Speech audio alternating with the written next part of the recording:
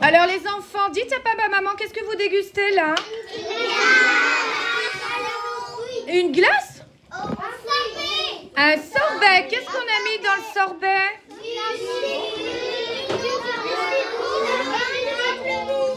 Ok, donc c'est un sorbet aux agrumes avec citron, pamplemousse, orange. Alors, est-ce que c'est bon?